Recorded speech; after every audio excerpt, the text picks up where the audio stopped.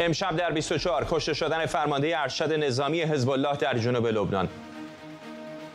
محکوم کردن کشتن بسام حسن طویل در حمله هوایی اسرائیل توسط جمهوری اسلامی. آیا جنگی تمام ایار بین اسرائیل و لبنان در راهه؟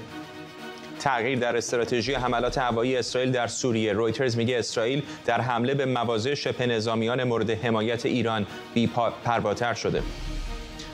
گزارش تازه درباره عملیات سایبری 13 سال پیش آمریکا و اسرائیل در تأسیسات هسته‌ای نتنز. روزنامه فولکس کرانت میگه بدافزار استاکسنت رو یک جاسوس هلندی در پمپ آب این تأسیسات نصب کرده بود.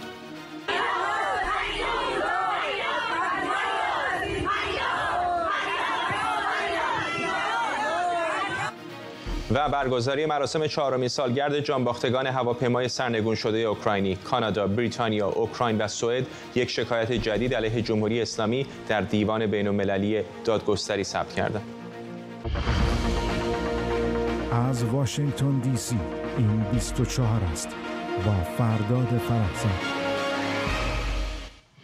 بینندگان ایران اینترنشنال در ایران و سراسر جهان سلام و وقت بخیر. حزب الله لبنان کشته شدن وسام حسن طویل یکی از فرماندهان ارشدش رو در جنوب لبنان تایید کرده. رویترز در گزارش نوشته خودروی طویل در روستای مجدل سلم در جنوب لبنان هدف حمله هوایی اسرائیل قرار گرفته. خبرگزاری های نزدیک به سپاه تصویری از آقای طویل در کنار قاسم سلیمانی فرمانده پیشین نیروی قدس سپاه و همینطور حسن نصرالله منتشر کردند. یک منبع امنیتی در گفتگو با رویترز جان باختن این فرمانده رو رخدادی دردناک برای حزب الله توصیف کرده. از زمان شروع جنگ اسرائیل و حماس حداقل 130 شبه نظامی حزب الله در بمباران ارتش اسرائیل کشته شدند. مرتاد فرهمند تحلیلگر مسائل خاورمیانه از استانبول با ما آقای فرهمند این دیگه یک مورد و دو مورد نیست. به نظر میاد تبدیل به یک روند داره میشه. چقدر فکر می‌کنید نزدیک هستیم به یک رویارویی تمام عیار بین اسرائیل و حزب الله خب پاسخ کوتاهش این است که هنوز فاصله داریم با رویارویی تمام عیار میان اسرائیل و حزب الله اما باید این رو در نظر داشته باشیم که کشته شدن وسام طویل نقطه عطفیه در درگیری میان اسرائیل و حزب الله او بلند پایی ترین فرمانده حزب الله که در این جنگ کشته شده.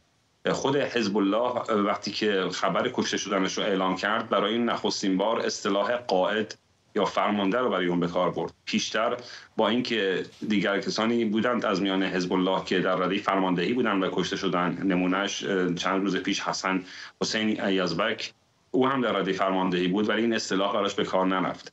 و همچنین تبلیغات فراوانی که امروز حزب الله کرده تصاویری که ما امروز می‌بینیم و شما هم پخش کردید از وسام طویل که امروز منتشر شده همراه با قاسم سلیمانی یا ویدیوهایی که ازش هست وصیت‌نامه‌ای که ازش منتشر شده.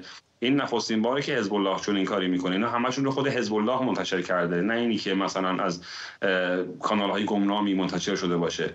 این حجم از تبلیغات نشون دهنده اهمیت وسام طویل برای حزب الله اما اینکه آیا در انتقام یا در خونخواهی او حزب الله ممکن دست به عملی بزنه که به فراگیر شدن جنگ بیانجامه به نظر نمی‌رسه که چون اتفاقی بیفته.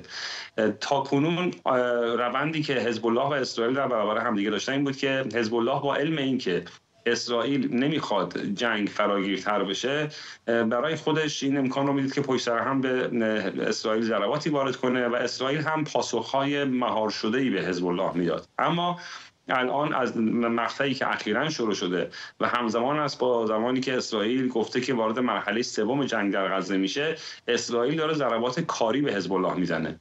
یعنی حزب الله به زعم خودش داشت به اسرائیل هزینه بالایی می‌داد. یعنی به کاری که جنگ رو برای اسرائیل دشوار می‌کرد هزینه های بالایی برای اسرائیل وارد می‌کرد. اما حالا اسرائیلی که داره جنگ رو ادامه این نوع روند رو برای حزب الله پرهزینه می‌کنه.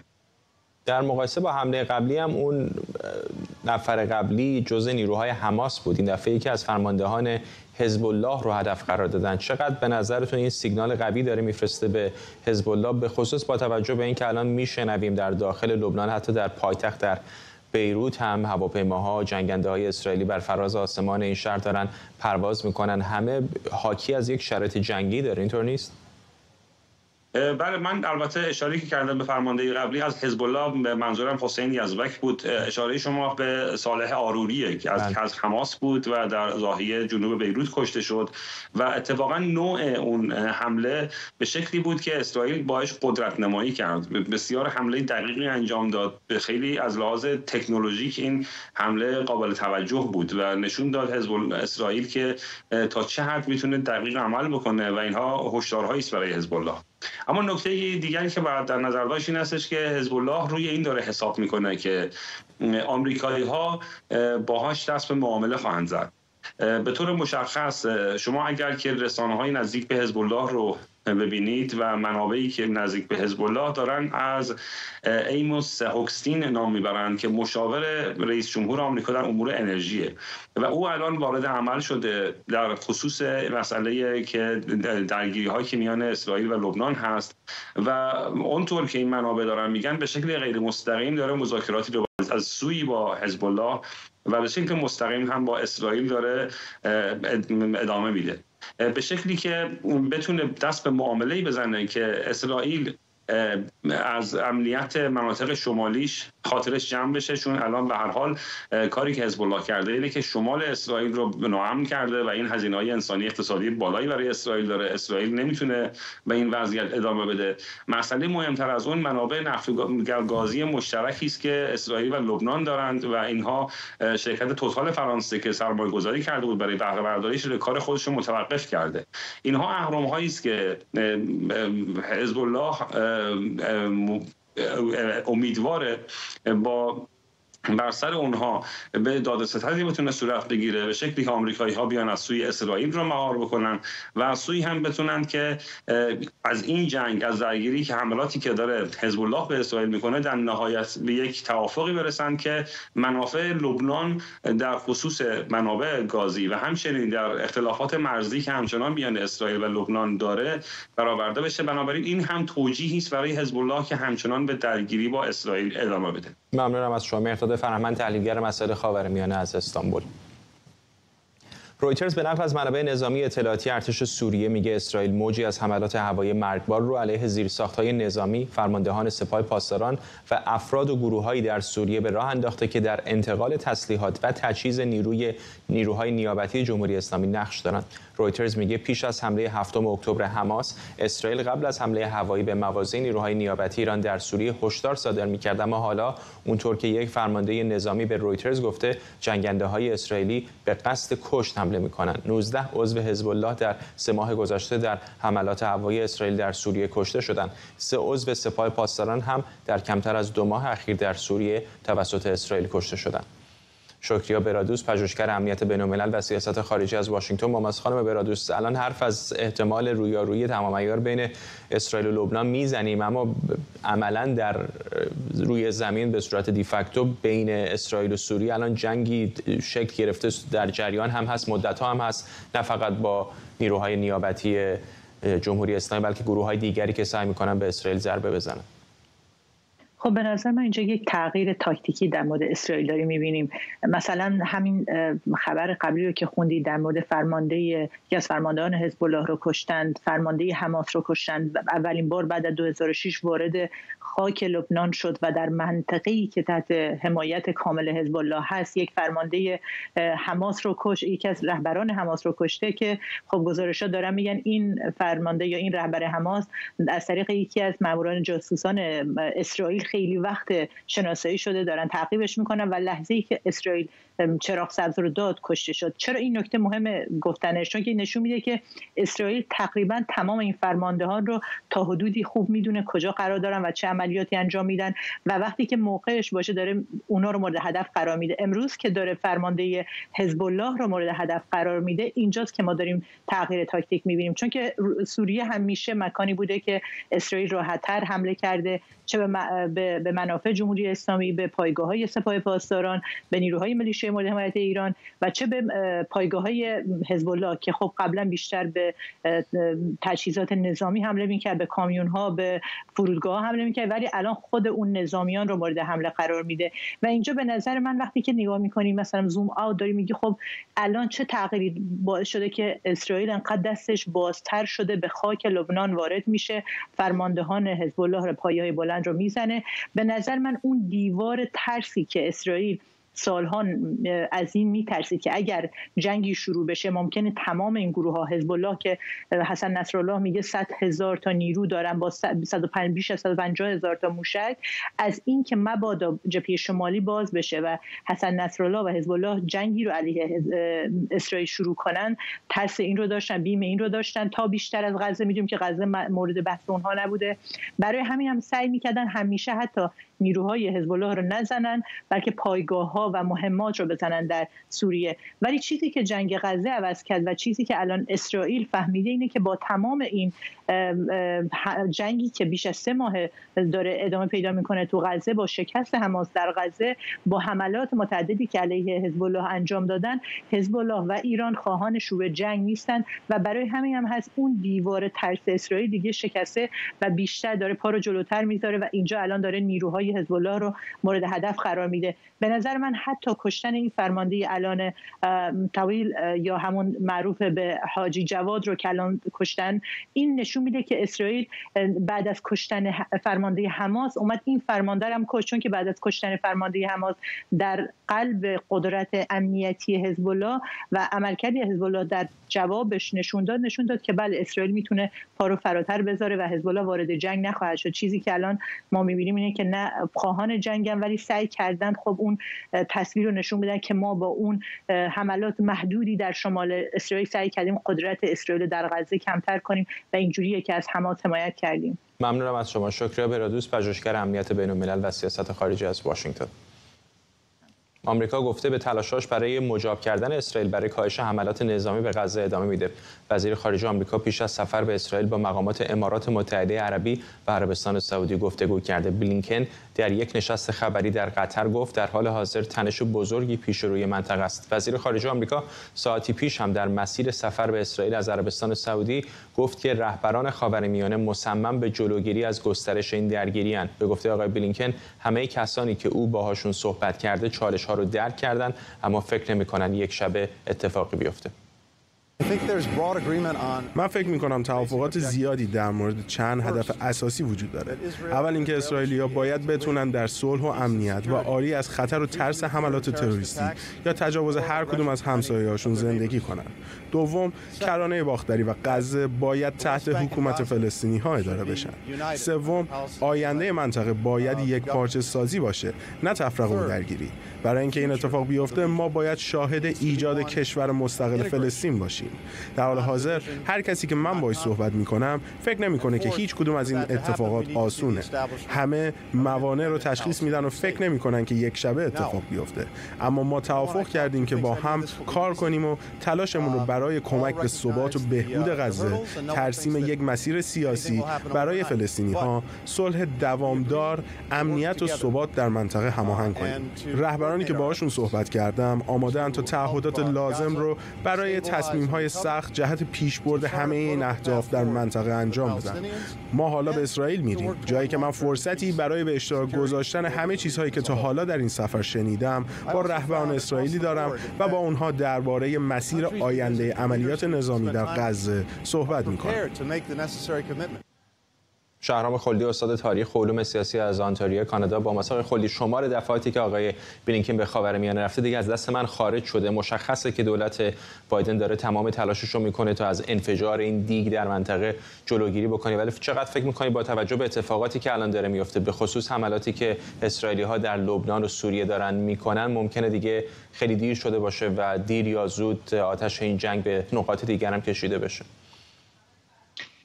خدمتتون درود میفرستم. جناب فرستاد و همین مخاطبان ایران اینترنشنال. ارز کنم به حضورتون که با وجود اینکه من یکی از هواداران پروپا قرص کتاب دیپلماسی مرحوم آقای کیسینجر نیستم ولی ما در شرایطی هستیم که به نظر من ما به یک دیپلماسی کیسینجری احتیاج داریم در منطقه خاورمیانه و انگامی که در اوایل دهه 1970 و اون شوک نفتی و تحریم نفتی و جنگ یوم کیپور آقای کیسینجر وارد عمل شد یک کاری که کرد این بود که حرفهایی رو که می‌زد به طرفین مختلف حتی به اسرائیلی ها البته بر اساس تصور خودش میدونستش که اون حرف ها به گوش اطراف دیگه نمی‌رسه. البته ما امروز می‌دونیم که آقای اشرف مروان که به حال یکی از نزدیکان ناصر بود عامل اسرائیلی ها بود و بهشون اطلاعات میرسون در مورد حرفایی که آمریکایی ها به مصری ها می‌زدن بر این بر اساس این الگو به نظر من ما وارد فازی شدیم که من بهش میگم فاز روانی و فیزیکی فیزیکی جنگ. اگر ما تا امروز در فاز کاملا فیزیکی جنگ بودیم الان داریم وارد فاز روانی جنگ میشیم. یعنی جنگ داره تبدیل به ابزاری میشه برای اینکه آینده خاور میانه رو در کوتاه مدت تعیین کنه و این تعیین شدن در واقع آینده خاور میانه هر سناریویی که بر اساس این جنگ روانی که در ادامه جنگ فیزیکی داره اتفاق میفته پیریزی خواهد شد در میان مدت سرنوشت خیلی از مسائل و دینامیسم رابطه بین اسرائیلی ها و اعراب رو مشخص خواهد کرد و کلید حل در واقع بسیاری از مسائلی که وجود داره سرنوشت به نظر من غزه کرانه باختری رود اردن و البته سرنوشت حزب الله لبنان هست. چقدر فکر می‌کنید که ایالات متحده در ریز جزئیات عملیات اسرائیل هست؟ چون گزارش ها این ور هست. خودتون بعضیش رو برام فر... برای من فرستادید که به نظر میاد که اقداماتی که داره اسرائیل می‌کنه الزاما اقداماتی نیستش که تمامش رو جزئیاتش رو آمریکایی‌ها بدونن. دقیقا همینطوره. فراموش نفرمایید که اسرائیل از جنگ سرد به این طرف به خصوص از سال 1968 که رسما ایالات متحده حمایت نظامی تمام ایار خودش رو از اسرائیل شروع کرد تنها متحد ایالات متحده بوده که درباره تمام فعالیت های ایالات متحده نسبت به اسرائیل جاسوسی می‌کرده در قلب دولت ایالات متحده. کیس جاناتان کلارک رو داریم که زندانی شد به خاطر همین موضوع به خاطر جاسوسی برای اسرائیل نزد ایالات متحده. به نظر من این اتفاقی که داره میفته خروج ناو هواپیما بر آیزنهاور از دریای مدیترانه و ورودش به دریای سرخ باز البته در اون شعاع راهبردی هست برای اینکه بتونه اسرائیل کمک بکنه. ولی این نشون دهنده این هست که حداقل امریکا اسرائیلی ها به امریکایی ها گفتن که اگر بخوان معامله ای با حزب الله بکنن حزب الله توانایی این رو نخواهد داشت که به طور پایدار برای کوتاه مدت بتونه با اون آتش سنگینی که اسرائیلی ها روانه حزب الله خواهند کرد به حزب الله پاسخ بدن که این تا حدودی دست اسرائیل رو باز می‌گذاره. چون معمولا در این گونه موارد همونجوری که می‌دونید و تاریخ منطقه نشون داده هر وقت که اسرائیل دست به یک همچین حملاتی زده اصولا نیروهای نیابتی جمهوری اسلامی سعی کردن جنگ رو توسعه بدن. من فقط یه نکته رو خدمتتون خیلی سریع عرض بکنم چون وقت کم هست. یک جنگ سایبری هم در جریان هست. سال 2007 وقتی که اسرائیلی ها سوریه رو یعنی تاسیسات اتمی سوریه رو زدن کنترل تمام دفاع هوایی سوریه رو از نظر سایبری در دست داشتن. ولی این رو نشون ندادن. فقط منحرف کردن این رو. به نظر من می‌رسه که وقایعی که ظرف 48 ساعت گذشته. خب به نظر می‌رسه که ارتباطمون با کنترل کردن. آقای خلدی به جمله آخرتون قطع شد ولی فکر می‌کنم فحوای کلامتون رو بیننده متوجه شدم عذرخواهی می‌کنم و ممنونم از شما شهرام خلدی استاد تاریخ و علوم سیاسی از انتاریوی کانادا. نیویورک تایمز در گزارشی از احتمال بالا گرفتن درگیری ها میان آمریکا و اسرائیل با شبه نظامیان مورد حمایت ایران از لبنان تا دریای سرخ خبر داده. در این گزارش آمده که برخلاف ارزیابی دولت بایدن در تابستان پارسال مبنی بر مهار شدن احتمال درگیری با جمهوری اسلامی و گروه های نیابتیش ایران با برخورداری از حمایت روسیه و چین تهاجمی تر شده. گزارش نیویورک تایمز میگه گزینه های آمریکا برای حمله به ایران محدوده اما در خصوص حمله به نیابتی های تهران جدی تر شده. در بخش از این گزارش گفته شده که حماس از دادن اطلاعات به تهران در مورد حمله هفتم اکتبر به اسرائیل خودداری کرده چرا که بیم داشته که با توجه به نفوذ گسترده اسرائیل و غرب در دستگاه های امنیتی و اطلاعاتی ایران این اطلاعات لو بره. در این گزارش از قول مقامات اطلاعاتی آمریکا اومده که تهران سوخت لازم برای دست کم سه بمب اتم رو در اختیار داره و غنیسازی لازم برای تبدیل کردن این سوخت به موادی با درجه بمب اتمی فقط چند هفته طول می‌کشه. آرش علی خبرنگارمون از کنگره و شایان سمی کارشناس امنیت ملی اینجا در استودیو همراه ما هستن. با آرش شروع می‌کنم. آرش چه میگن در کنگره در کاخ سفید در مورد این گزارش ها و احتمال رویارویی با ایران و گروه های نیابتیش؟ ببین البته این گزارش نیویورک تایمز چیز جدیدی تقریبا ندارد که ما نمی‌دونستیم به عنوان خبرنگارانی که ایران رو گزارش می‌دادیم. از 6 ماه 7 ماه پیش مشخص بود دستگاه دیپلماسی آمریکا ناامید شد از از دستیابی به هر گونه توافق اتمی بود. جمهوری اسلامی بارها ما شنیده بودیم. آقای بلینکن می اومد می‌گفت پنجره فرصت بسته میشه پنجره فرصت بسته میشه. و بعضی اینجا تو واشنگتن با طعنه می‌گفتن این پنجره خیلی بزرگی باید باشه چون دو سال داره بسته میشه و هنوز بسته نشده است و الان هم جمهوری اسلامی با این گزارش هایی که الان پخش می شود از مقدار اورانیومی که دارن غنی می‌کنن همون پترنی داره تکرار می‌کنه که زمان احمدی نژاد هم تکرار کرد. یعنی به غرب نشون میده که هیچ ترسی نداره از اینکه بخواهد اورانیوم غنی شده خودشو غلظتش رو بالاتر ببرد. هیچ راهی ندارد غرب برای اینکه بخواد جلوی جمهوری اسلامی رو واقعا بگیرد.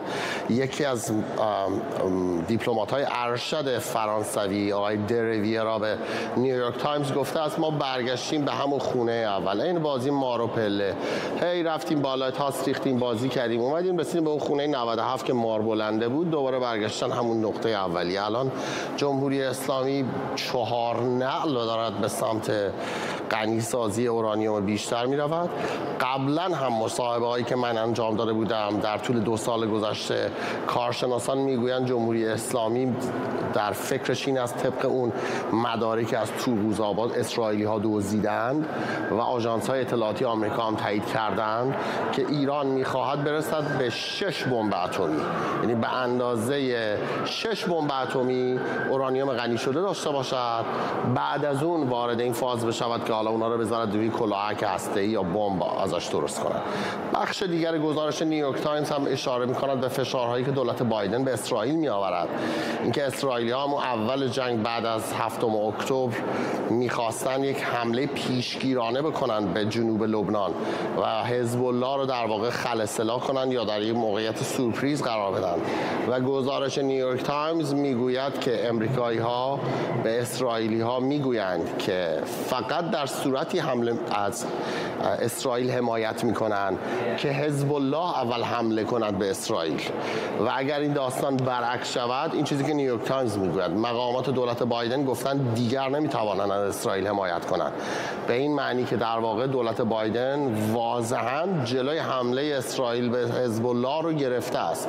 با فرستادن این نماینده‌ای که کاخ سفید الان دارد داره مذاکره می‌کنه آقای ایمس هاخشتاین که قبلا قبل از جنگ هفتم اکتبر هم اگر یادمون داشت یادمون باشد ایشون رفته بود بین حزب الله و اسرائیل میانجیگری کند بر سر یک میدان نفتی. به نظر میاد دولت بایدن هنوز کنترل خودش رو در منطقه از دست نداده است. فعلا احساس می‌کند به اندازه کافی از اهرم های فشار برای اینکه دو طرف رو راضی بکنند که درگیری را کم کنند برخوردار است. ممنونم از تو. آرش علی خبرنگار ما از کنگره آمریکا. اینجا در استودیو همچنان شاهد سمی کارشناس امنیت ملی با ماست. آقای سمی شما چقدر محتمل می‌دونید این روی احتمالی رو؟ با درود به شما و مردم عزیز ایران. همونجور که در گزارش ها دیدیم جناب علایی فرمودن دکتر خلدی عزیزم قبل از اون اشاره کردن این یک امر اجتناب ناپذیری است. برای اینکه ببینید جمهوری اسلامی نیروهای نیابتیش در منطقه دارن سعی می‌کنن که انقدر آتش افروزی بکنن که امریکا و غرب رو اونجا درگیر بکنن. از طرف دیگر امریکا هیچ گونه علاقمندی نداره که بخواد مقابله به مثل با نیروهای نیابتی جمهوری اسلامی در دریای سرخ داشته باشه. علیرغم اینکه دیدیم در آخر هفته گذشته هلیکوپترهای نیروی دریایی امریکا حداقل سه تا از کشتی های حوسی ها رو غرق کردن ولی علاقمندی به ادامه اون ندارن. این رو هم ما خوب می‌دونیم این علاقه عدم علاقمندی یا به قول غربی ها قول از چراغ در آمده اگر جمهوری اسلامی رو بخوایم قول در چراغ توصیف بکنیم و عملا خیلی اهرم های زیادی برای مهار وجود نداره. ترس از اینه که در جای دیگری چجوری باهاشون مقابله بشه. همینجوری که الان جناب علایی اشاره فرمودن امریکا هیچ علاقه ای نداره که اسرائیل به حزب الله در شمال حمله بکنه. اما اگر این تخاصمات ادامه پیدا بکنه اسرائیل راه دیگری برای از بین بردن اهرم‌های فشاری که هست نمی‌بینه. و امریکا هم این رو می‌دونه. اگر به حوسی ها حمله بکنه و اونها رو تار و مار بکنه برای خودش دردسر بیشتری با جمهوری اسلامی خریده. به همین خاطر هست که در حال حاضر جمهوری اسلامی احساس می‌کنه که دست برتر رو داره و تا زمانی که کشورهای اروپایی و امریکا از یک صحبت واحد حرف نزنن و اینجوری که دیدیم سفیر امریکا در سفیر فرانسه در سازمان ملل آمده گفته که امریکا ایرانی ها فقط با یک چرخاندن پیچگوشتی فاصله دارن که بمب اتمی رو بسازن. این مسئله رو بغرنج می‌کنه. یعنی نشان میده که کشورهای غربی با همدیگه اتفاق قول ندارن که چگونه مقابل جمهوری اسلامی ایستادگی بکنن. امریکا بر این باور هست که می‌تونه با تعامل کجدار مریض رفتار بکنه. اروپایی ها میگن بایستی یک تقابل سرسختانه تری باشه. اونم به چه دلیل؟ به خاطر اینکه تمام وسایل مورد نیاز کشورهای اروپایی و گاز مورد نیاز اونها از مسیر دریای سرخ و کانال سوئز میگذره. اگر حوسی ها بخوان اونجا تخاصم رو ادامه بدن هر جنسی که قرار بود به فرض 45 روز طول بکشه به آلمان یا هلند برسه حداقل 80 روز طول خواهد کشید. قیمت ها بالا میره. مردم ناراضی میشن. پس می‌بینیم که امریکا باید این رو درک بکنه که برای از بین بردن معزل حوسی ها باید با جمهوری اسلامی مقابله سرسختانه ای بکنه. اون هنوز جا نیفتاده. همین الان هم مطمئنم سرویس های اطلاعاتی آمریکا بالاخره یک تحلیل نسبتا دقیقی از میزان توسعه برنامه هسته ایران دارن. اسرائیلی شاید حتی خیلی دقیق تر نمونهش همین اسنادی که از ایران خارج کردن. آیا واقعا فکر می‌کنید که با فشار اسرائیلی ها و تهدیدات غیر هسته ای که همین الان هم گروه های نیابتی جمهوری اسلامی در منطقه ایجاد کردن واقعا واشنگتن دست روی دست خواهد گذاشت و یک ایران هسته ای رو تحمل می‌کنه؟ امیدوارم به اونجا نرسه ولی من فکر می‌کنم اگر امریکا واقع بینی رو کنار بگذاره و رویا پردازی بکنه اون چیزی که تا الان به دنبالش بوده که چندین سال وقت رو صرف کردن یا حرام کردن که بیان به دنبال یک چیزی بگردن که جمهوری اسلامی فقط هی داشت سعی می‌کرد زمین فوتبال رو درازتر بکنه نه اینکه بازی رو برنده بشه که بتونه طول مدت زمان بیشتری بخره برای خودش. امریکا اگر این رو اجازه اجازه بده جمهوری اسلامی از این آب گلالود ماهی خواهد گرفت. جمهوری اسلامی نیاز داره که امریکا به صورت سرسختانه و توانمند مقابله بکنه. اون گونه که امریکا الان داره برخورد می‌کنه جمهوری اسلامی فکر می‌کنه که هیچ کاری هم از پیش نخواهد رفت. ممنونم از شما. شهرام سمیعی کارشناس امنیت ملی اینجا در استودیو. تقاضا نزدیک به 13 سال بعد از حمله سایبری آمریکا با بدافزار استاکسنت به تأسیسات هسته‌ای نتنز در ایران یک روزنامه هلندی در گزارشی تحقیقی نوشته یک مأمور سازمان اطلاعاتی هلند به نام اریک فان سابن در سال 2007 این بدافزار رو وارد نتنز کرده بود. روزنامه فولکس کرانت نوشته در این عملیات به رهبری آمریکا و اسرائیل بیش از یک میلیارد دلار برای توسعه بدافزار استاکسنت هزینه شد و اریک فان سابن بعد از نفوذ به تأسیسات نتنز اون رو در یک پمپ آب نصب کرده بود. بنا به این گزارش مدیران سرویس های اطلاعاتی هلند با اینکه در عملیات خرابکاری در نتنز مشارکت داشتند اما از جزئیات عملیات بی اطلاع بودند این گزارش همینطور میگه اریک فان سابن دو هفته بعد از خروج از ایران در تصادفی با موتورسیکلت در دبی جان باخت. امید معماریان روزنامه‌نگار و تحلیلگر سیاسی از دیترویت با ماست آقای معماریان بیشتر شبیه فیلم های جیمز باند میمونه. اینطور نیست؟ کاملا همینطور است و این گزارش در جای جای خودش اشاره می‌کنه که همچنان حلقه های مفقوده زیادی در این خصوص وجود داره به خاطر اینکه این مهندس الان زنده نیستش. بسیاری از مقامات اداره اطلاعات امنیت هلند در این خصوص نمی‌دونستن. مقامات پارلمان نمی‌دونستن. مقامات نخست وزیر نمی‌دونستن. نخست وزیر نمی‌دونسته. بنابراین مجموعه از افرادی که در چنین یعنی حتی کمیته مخفی که در پارلمان هلند وجود داره که یعنی در مورد پروژه های مخفی و سری در واقع نمایندگان رو مطلع می‌کنن. اون هم در این خصوص نمی‌دونست. بنابراین ما چیزای زیادی در خصوص این پروژه نمی‌دونیم. ولی اون چیزی که این روزنامه ادعا کرده این هستش که در سال 2008 وقتی که ویروس یا این بدافزار استاکسنت وارد ایران میشه چون که به حال مؤسسه نتنز مؤسسه تاسیس هسته نتنز با خارج از خودش در ارتباط نیست به اینترنت وصل نیست و اگر قرار بوده که یک بدافزار وارد این مجموعه تاسیس هسته بشه باید حتما به صورت فیزیکی یک نفر میبرده اونجا نصب می‌کرده. و اینجوری که این مقاله ادعا می‌کنه اون شخصی که تا الان فکر می‌شده که فکر می‌کردن که یک مهندس ایرانی این کارو کرده. الان میگن که نه.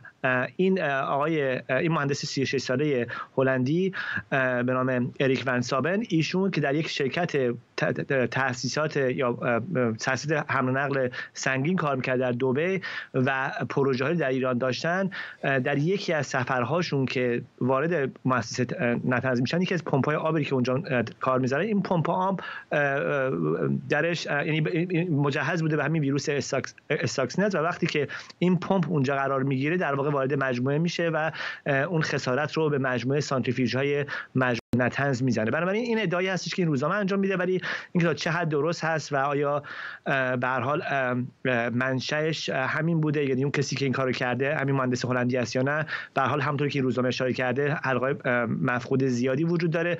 نکته ای که نظر من اینجا وجود داره این هستش که حتی ممکن است که خود این مهندس در خصوص ابعاد کاری که می‌کرده آگاه نبوده باشه و برخی از مقامات سازمان امنیت اطلاعات هلند گفتن که یک جوری بازی خوردن توی این مسئله و آمریکا ازشون استفاده کرده. چقدر فکر می‌کنید که همین ها اتفاقا الان موثر هست به خاطر عدم همکاری هایی که ایران با آژانس می‌کنه؟ چون می‌بینیم بعض اوقات در مورد دادن روادید یا اجازه دادن به بعضی از نمایندگان آژانس که بیان تاسیسات هسته‌ای ایران رو وارسی بکنن محدودیت های جمهوری اسلامی وضع می‌کنه که طبیعتا با مخالفت های آژانس هم روبرو میشه. ولی خب از طرف هم می‌بینیم جمهوری اسلامی هم زخم خورده است در این ناحیه.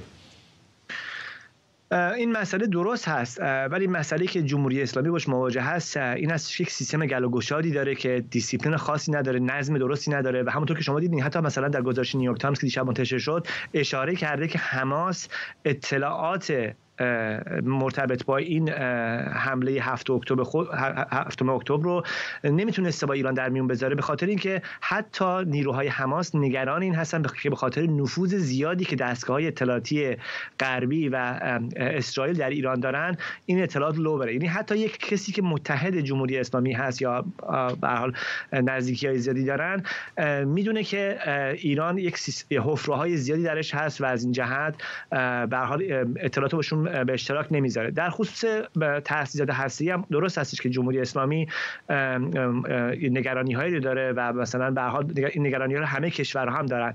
ولی به خاطر اینکه سیستمایی که در جمهوری اسلامی استفاده میشه یعنی سیستمای تخصصی و حرفه‌ای نیست و از نظر بوروکراتیک کارآمد نیست واقعا جلوگیری کردن از اینکه چنین اتفاقایی بیفته براش امکان پذیر نیست. کما که در سال گذشته امکان پذیر نبوده که مثلا با یک کامیون بیان با یک van اینترنت بیان تمام اطلاعات هسته‌ای رو مثلا از یک مؤسسه ببرن بیرون یا در بخش‌های مختلف حکومت نفوذ بکنن و اطلاعات رو بتونن از کشور خارج کنن در مجموع می‌تونم بگم که نگرانی درست هست ولی جمهوری اسلامی هیچ مکانیزم یا دیسیپلین یا سازوکاری برای اینکه از این اتفاقات جلوگیری کنه در سطح گسترده نداره. ممنونم از شما. امید معماریان روزنامه‌نگار و تحلیلگر سیاسی از دیترویت.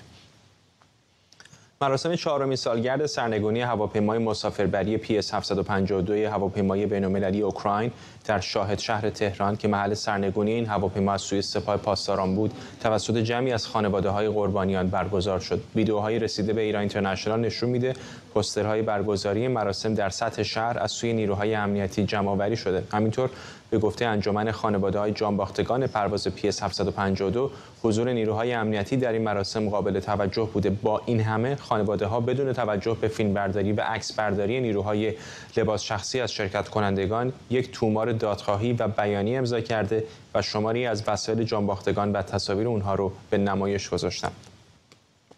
خانواده قربانیان هواپیما در چهارمین مراسم سالگرد از بی‌عدالتی های مکرر در روند رسیدگی به پرونده هواپیمای اوکراینی گفتند. وکیل چند خانواده قربانیان گفته قوه قضایی تحت تاثیر دستگاه های امنیتی. محمود علیزاده در گفتگو با سایت دیدبان ایران گفته فقط متهم ردیف اول این پرونده بازداشت شده بود که او هم در شرایط فعلی آزاد شده.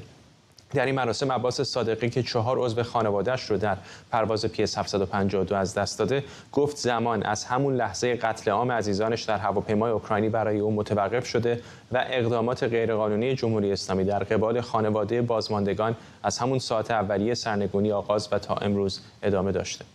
به اینکه بر اثر مداخلات غیرقانونی مراجع فراقانونی و غیر پاسخگو کشف حقیقت شفافیت در تحقیق و رسیدگی دست نیافتنی بوده دست یافتنی نبوده و دادگاه نظامی رسیدگی کننده علاوه بر اینکه مایل و قادر به انجام تحقیقات جمعآوری ادله و دادرسی نبوده و توانایی و جرأت تعقیب فرماندهان دخیل در این جنایت را به علت دخالت اراده سیاسی فعال مایشا با انگیزه مسئول نگه داشتن آنان از تعقیب محاکمه نداشتند.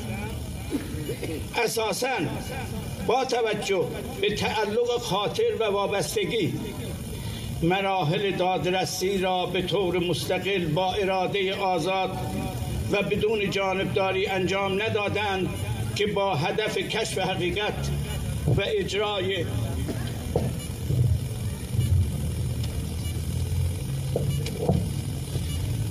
عدالت و انصاف منافات, منافات داشته است.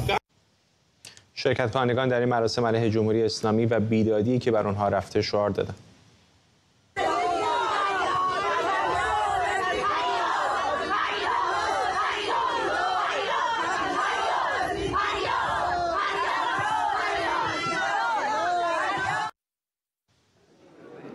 همکارم محسا مرتضوی از تورنتو به ما پیوسته. محسا می‌دونم که مراسم گسترده در شهرهای مختلف علل خصوص در کانادا در تورنتو در جریان هست. از مراسم اونجا به ما بگو چه قرار اتفاق بیفته امروز.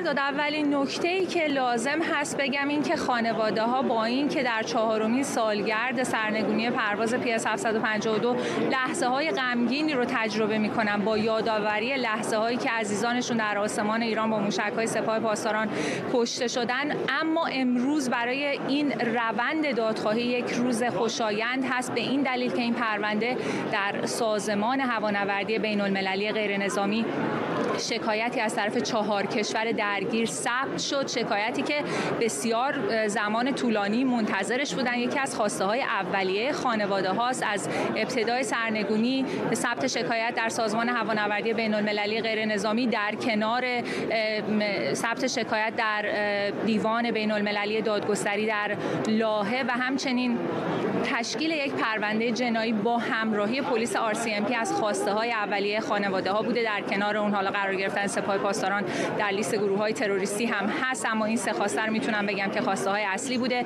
امروز صبح ساعت 9 به وقت محلی جاستین ترودو در یک جلسه خصوصی با خانواده های جانباختگان این موضوع رو اعلام می‌کنه. چیزی که ما خود من هم می‌دونستم شاید در این روزهای اخیر اتفاق بخواد بیفته ولی مطمئن نبودیم که تا روز سالگرد بخوان این رو اعلام بکنن. دولت کانادا این در سالهای قبل هم داشته نزدیک به سالگرد یا در روز سالگرد یک مایلستون به قول آمریکایی ها کانادایی ها و یا میشه. گفت یک قدمی در جهت پیشبرد این پرونده برمیدارن که خانواده ها متوجه این باشن که دولت های درگیر همچنان به این پرونده توجه دارند یک مصاحبه ای داشتم با حامد اسماعیلیون در مورد اینکه حالا که این پرونده به سازمان هوانوردی بین المللی غیر نظامی ارجاع شده چه معنی برای جمهوری اسلامی و همچنین چه معنی در روند پیگیری این پرونده داره؟ اگه موافق هستی مصاحبه رو با هم ببینیم.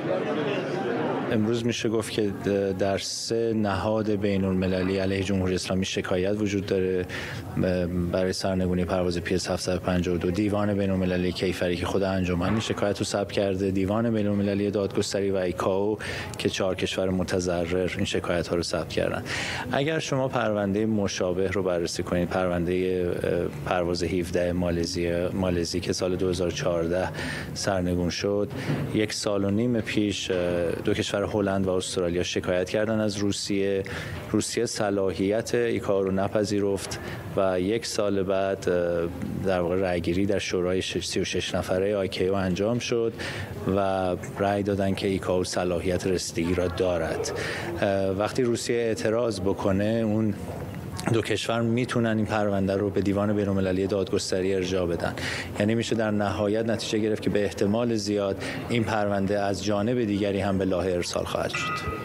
اگر ایران پاسخگو نباشه جمهوری اسلامی در نهایت بیاد بگه من پاسخ ایکائو رو نخواهم داد و اصلا از این سازمان بیرون می‌خوام بیام در اون صورت چه اتفاقی میاد اگر شما نظر ما رو می‌خواین به نظر ما اصلا جمهوری اسلامی صلاحیت عضویت در ایکائو رو نداره. فرهاد پرورش که نماینده جمهوری اسلامی در ایکائو صلاحیت زندگی در این کشور رو نداره.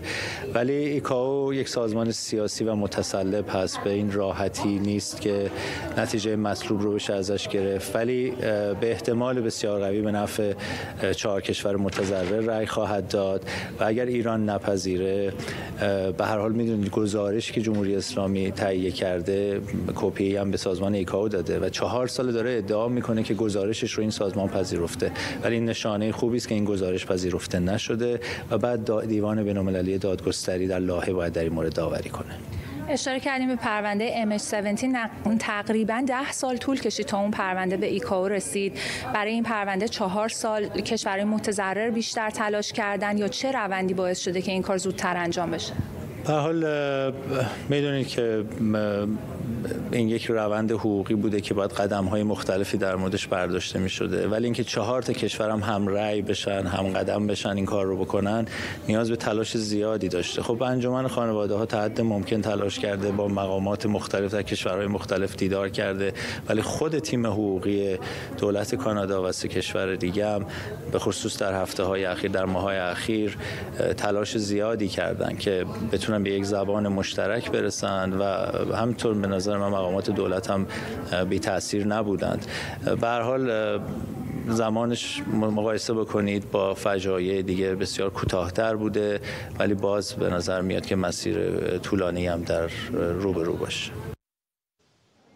همچنان محسا مرتضوی از محله مراسم در تورنتو با ماست. محسا می‌خواستم این ازت بپرسم که از بین مقامات کانادایی چه کسانی امروز حضور دارن؟ همونطوری که می‌بینی سالن خیلی شلوغ شده. کسانی که اینجا هستن همه با دعوت وارد این سالن شدن. خیلی امنیت بالایی در این سالن رعایت شده از ساعت ها قبل که من خودم اینجا حضور داشتم. حضور سنگین پلیس رو می‌دیدیم و می‌تونستیم تصور بکنیم پایه دولت کانادا اینجا خواهند بود. در نگاهی که به داخل سالن داشتم جاستین ترودو رسیده نخست وزیر کانادا وزیر امور خارجه هست معاون وزیر امور خارجه که در میان همین جمعیت هست. همینجا باهاش صحبت می‌کردم از او هم پرسیدم این روند رو چگونه ارزیابی می‌کنه با توجه به اینکه اذعان می‌کرد که بسیار کند هست اما راضی بود از اینکه بالاخره این چهار کشور با توجه به اینکه اوکراین در وضعیت جنگی قرار داره و خب همراه کردنش می‌تونه دشوارتر هم باشه. از روند این پرونده راضی بود.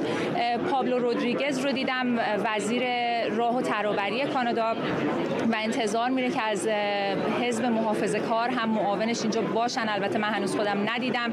از صبح از دفتر حزب محافظه کار در یک بیانیه اختصاصی که برای ایران اینترنشنال هم ارسال شد راهی کردن.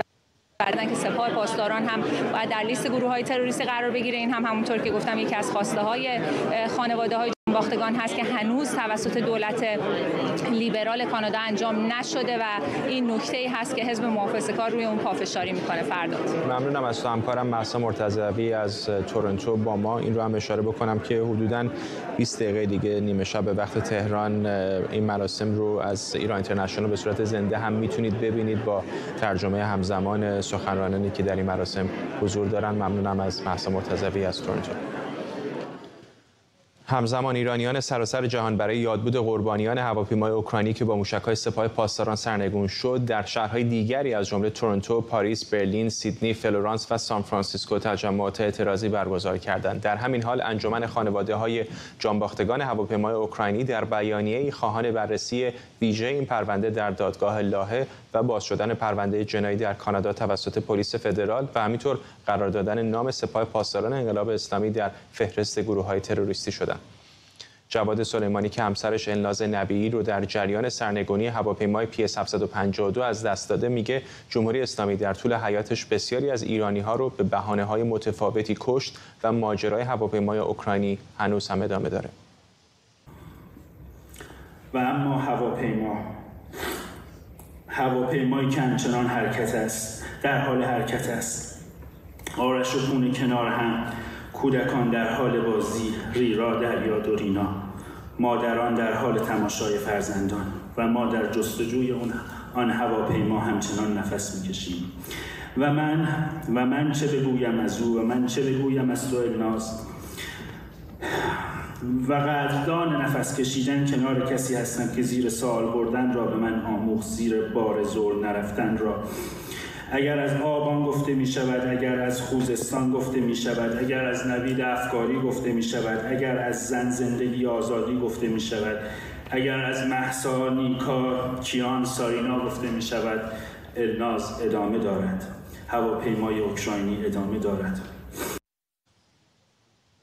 خود جواد سلیمانی که سخنرانیش رو میشنیدید همسر الناز نبی از ادمونتون کانادا و عظمت اجدری خواهر غنیمت اجدری از قربانیان هواپیمای اوکراینی هم از لندن با ماست. با آقای سلیمانی شروع می‌کنم. ممنونم که از هر شما که دعوت ما رو پذیرفتید. چقدر با توجه به اقداماتی که الان صورت گرفته چه در لاهه چه از طریق کانال ایکاو امیدوار هستید به دادخواهی؟ سلام ممنون از دعوتتون. ببینید مسیرهای قانونی مختلفی که برای پیگیری پرونده در مجامع بین و خارج از ایران امکان داشت خب از همون ابتدا در داخل انجمن خانواده بررسی شد با کمک نظرهای متخصصان حقوقی و همه این مسیرها دنبال شد.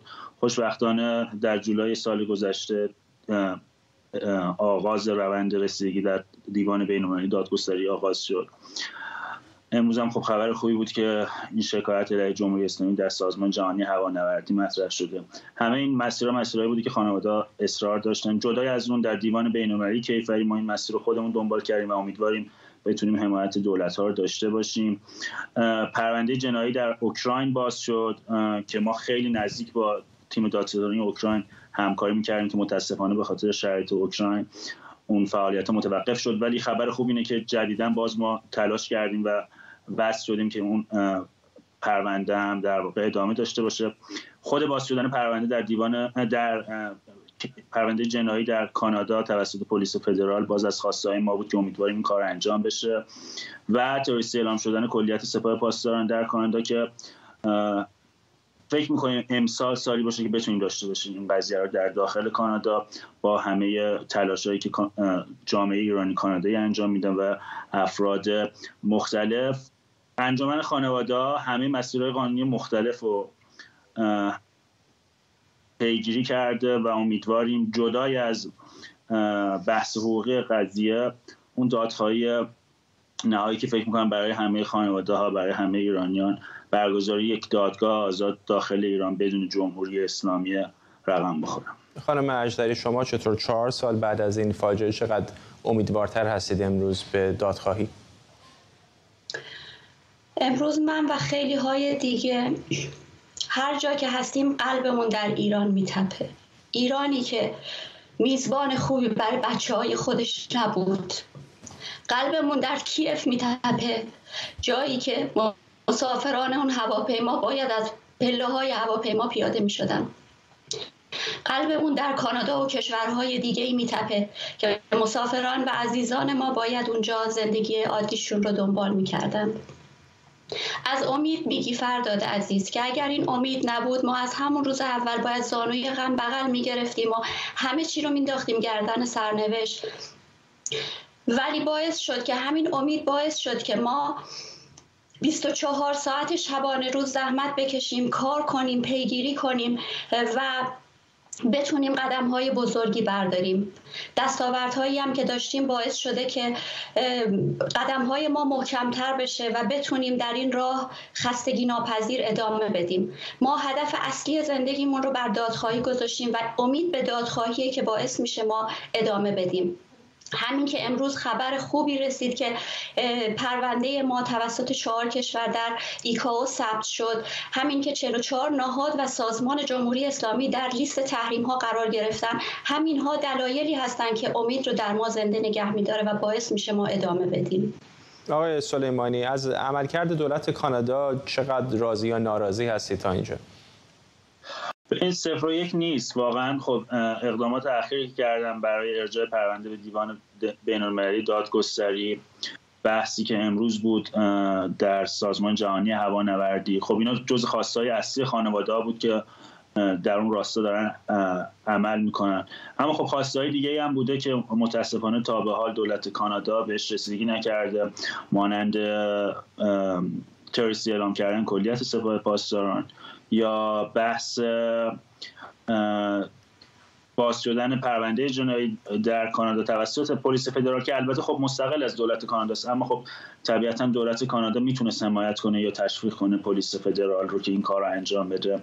یا حمای... یا ثبت شکایت در دیوان بین المللی کیفری یا حمایت از شکایت خانواده ها البته این به این معنی نیست که این خواستای ما دولت کانادا هیچ وقت بهشون عمل نکنه. ما فشار میاریم جلسات متعدد برگزار میشه با مسئولین مختلف دولت فدرال در سطوح مختلف و امیدواریم که بتونیم به سایر خواسته هم دست پیدا بکنیم در سال پیش رو. خانم اجداری گفته میشه تنها متهم این پرونده در داخل ایران که زندانی بود هم آزاد شده. چه است واکنش شما؟ من در جواب این سال می‌خوام برگردم به چهار سال قبل مثل امشب که در حالی که یک ایران در سوگ و ناباوری فرو رفته بود پروپاگاندای جمهوری اسلامی داشت دروغ می‌گفت. دروغش رو سه روز ادامه داد و اعتراف نکرد به اینکه این جنایت رو خودش انجام داده. چهار ساله داره دروغ میگه و چهل و پنج ساله که جز از جمهوری اسلامی ما, دروغ ما جز دروغ نشنیدیم. حالا آیا چنین متهمی وجود داشته؟ آیا واقعا زندان بوده؟ اگر وجود داشته و زندان هم بوده جز در راه پروپاگاندای جمهوری اسلامی و بازی های جمهوری اسلامی نبوده و اگر هم بوده به نظر من به خاطر خوشرقصی و خوشفرمانی و عمل کردن به دستورهای بالاتر مطمئنم پاداشهای خوبی گرفته و به مقامات بالاتری رسیده. این متهمین در درجه پایین از نظر ما اصلا اهمیتی ندارن و متهمین درجه اول مقامات بلندپایه جمهوری اسلامی هستند که همونطور که جواد عزیز اشاره کرد هدف ما بردن اونها به دادگاه های بین المللی مستقل بدون وجود جمهوری اسلامی و محکوم کردن و مجازات کردن اوناست.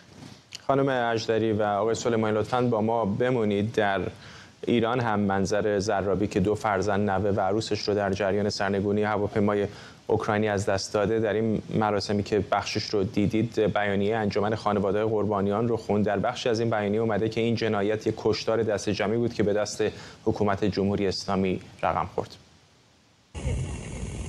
مرا یادار در چمدانهای سوخته و در یورش بلدزرها به آن چه باقی مانده است. مرا یاد آر در آدمهایی که منتظر بودند در آغوش های گرمی که پژمرد در بوسه هایی که سوخت در آینده هایی که تباه شد. مرا یادار در روزها دروغ ماهها دروغ سالها دروغ. مرا یادار در جنایتی که کشتار دست جمعی بود و به دست حکومت جمهوری اسلامی رقم خورد. آقای سلیمانی مطمئنم شما این مراسم داخل ایران رو امروز رصد کردید. چقدر بهتون آرامش خاطر میده. چقدر متاثرتون می‌کنه وقتی می‌بینید که خانواده قربانیان در داخل ایران اینطور شجاعانه از عزیزانشون دفاع می‌کنن و سعی در دادخواهی دارن؟ من واقعا نمی‌تونم توصیف کنم. شجاعت خانواده داخل ایران برای برگزاری مراسم برای مراسم های مختلف به یاد عزیزان هواپیمای اوکراینی حضورشون در دادگاه نمایشی جمهوری اسلامی که جمهوری اسلامی و قضاتش و سیستم قضایی رو به چالش کشیدن که البته نتایج خیلی مفیدی هم داشته. حالا شاید امروز نشه در موردش خیلی صحبت کرد. اطلاعات خیلی مهمی از پرونده هواپیمای اوکراینی به دستمون رسیده. واقعا من فکر می‌کنم خانواده های داخل ایران قوت قلب خانواده های خارج ایران هستن. و در انجمن خانواده ها گسستی بین خانواده های داخل و خارج نیست و همگی کنار همدیگه با هماهنگی کامل در واقع کار می‌کنیم. همونطور که دیدید خب بیانیه که خوانده شد بیانیه انجمن بود. خب این بیانیه در تورنتو خونده میشه جای دیگه خونده میشه.